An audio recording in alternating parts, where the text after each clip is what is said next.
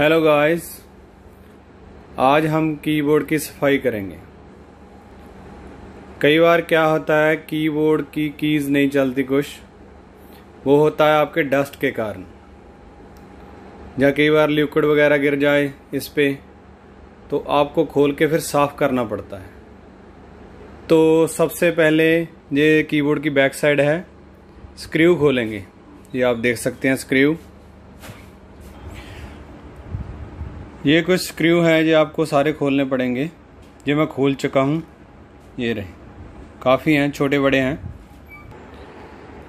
ये जो मैंने कीबोर्ड खोला है फ्रंट टेक का है ये। अब मैं इसको दिखाता हूँ आपको।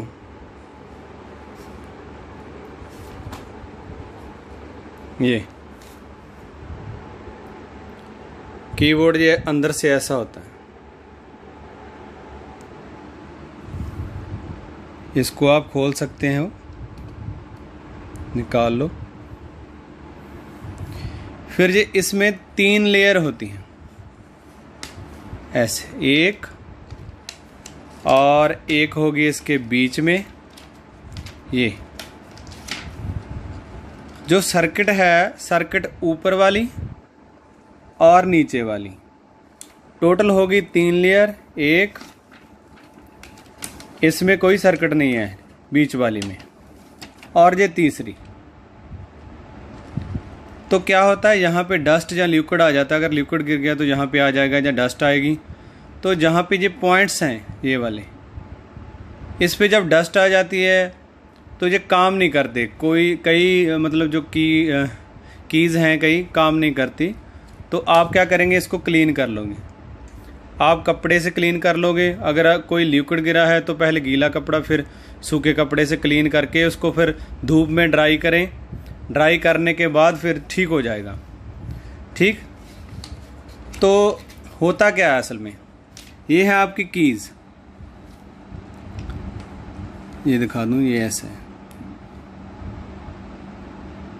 इसके नीचे कीज़ हैं। जब वो प्रेस करते हैं हम ऐसे तो ये वाला पैड प्रेस हो जाता है और ये इस सर्किट पे आता है, इस पे। इस सर्किट पे आ गया। यहाँ पे बीच वाली शीट में होल है और एक ऊपर सर्किट है। तो जब वो प्रेस होगा, ये वाला पॉइंट उस पॉइंट से टच हो जाएगा। जब टच हो जाएगा तो सर्किट जुड़ जाएगा, सिग्नल चला जाएगा यहाँ पे। यहाँ पे सिग्नल जाएगा आपका। ये है इसका सर्किट बोर्ड इसमें आपके कंट्रोलर रहता है और माइक्रो प्रोसेसर रहता है। फिर सिग्नल इस वायर से कंप्यूटर की तरफ़ जाता है। एक बार फिर मैं रिपीट करता हूँ। इसमें क्या है? मैट्रिक्स है पूरा। सर्किट का मैट्रिक्स है इस शीट में। सेकंड वाली में कुछ नहीं है होल्स हैं। ये देखिए। और एक है नीचे तो तीन लेयर हैं। जब ये की प्रेस होगी, ये वाला डॉट इस डॉट से मिल जाएगा, यहाँ पे। तो सर्किट बन गया, जुड़ गया सर्किट जब जुड़ गया तो सर यहाँ से सिग्नल जाएगा यहाँ पे। ये मैंने आपको पहले एक्सप्लेन कर दिया है। बस क्लीन करना है इसको। इस लेयर्स को क्लीन करो। क्लीन करने के बाद वैसे ही आप लगा दो। ये देखो ये यहाँ पे लग गया। ये यहाँ पे लग गया। उसके बाद इसको बंद करना है और दोबारे स्क्रू लगा देने हैं। दूसरी साइड में आपको दिखा दूँ, जो नीचे की है साइड। वो ये रही। वही आप मैंने बताया था, यहाँ से प्रेस होगा। वो नीचे जो रबड़ लगी है वो प्रेस होके बिंदु पे टकराएगी और सर्किट आपका चलेगा फिर। सिग्नल जाएगा फिर उस तरफ़। और एक बार मैं और बताऊँ एक बात। किसी किसी में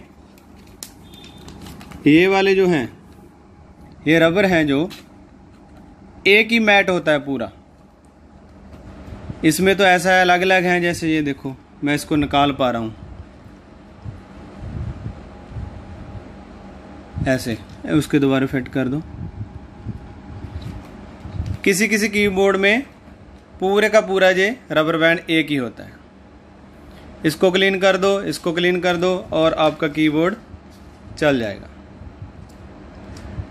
अगर कोई और टेक्निकल फॉल्ट ना हुआ तो चलेगा। Thank you guys